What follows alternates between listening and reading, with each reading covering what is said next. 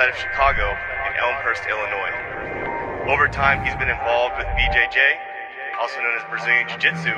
Our guest today also secured mixed martial art victories with a record of 7 and 0. And he also learned how the mixed martial arts community could help him better discover more to life. Professor Ferro over at Ferro Academy at Elmhurst. I'm going to go over a knee shield attack. I think it's called the Shaolin sweep. Um, I'm going to roll over my right shoulder uh, as I go for the sweep. All right, so I'll give you guys a tour of it. So we're starting the knee shield. This one's nice, but I kind of like. So remember the knee shield, I was pointing out that you cannot let her start grabbing the collar. If they do, you got to break it. Don't let her hug the head and get stuff like this, okay? So I, first off, I have to protect here. I don't want my knee down like this, anything, okay? I want it nice and tight here. I, I put my foot like right next to her hip, all right? A lot of times we have attacks from here. I've been working a lot of the attacks, arm drags from here. But we're gonna show this sweep this way, okay? So when I start attempting this sweep, I'm gonna start switching my hands to the cross grip like this.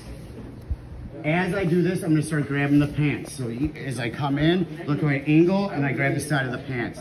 Now, I wanna kind of push her so she could start pushing back. So that's how we're gonna get the sweep. When I go for the sweep, I wanna do this with her arm. Like this, okay? And I'm loading her up with this knee and this leg and I'm gonna use her to roll over, all right? So I kind of go on my shoulder to push, she comes back. No, go ahead. I roll right over my shoulder, I can put it up and cross, and now we're in a good uh, position in half guard where we can start working the pass, all right? Let's do it again. This one's gonna be all the timing, everything else, all right? So you got the knee shield, you want to start, you don't want her having the grips. You don't want her to get past this leg. Um, you know, don't have to focus too much about this arm right now, all right, unless I wanted some arm drags. All right, so as I go for it, I could even look for a Kimura, switch it, go for the pants, kick her off balance till she comes in. I go right over and I put the arm across. And now if I come over, it puts a lot of pressure on her shoulder um, and and uh, it could be on her face if I wanted to be mean with it. All right, let's go one more. We go knee shield. We go cross sleeve. We push. She pushes back in. And we go for the pass, all right?